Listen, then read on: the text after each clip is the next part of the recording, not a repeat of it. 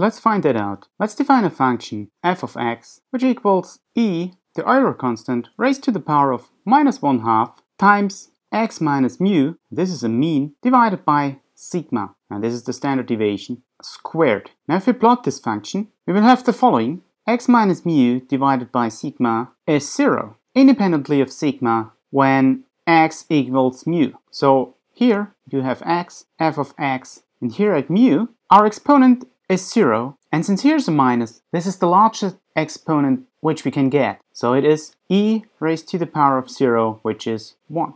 And so here at mu, we do have the value 1. And if we draw the values to the left and right, we will get this typical bell shape. And remember, those values never are 0. And so we have tails that go to plus minus infinity. And there's another important point, which is that x equals mu plus minus sigma, because for those values x minus mu, here the exponent, divided by sigma squared is 1. And this happens here at the inflection point where the curve goes from a left turn into a right turn and again here where it goes from a right turn into a left turn. So at those points x is mu plus minus sigma. And now here's the question, what do you think? So in order for f to be a distribution, the following needs to be fulfilled. The integral from minus infinity to plus infinity of f needs to be 1.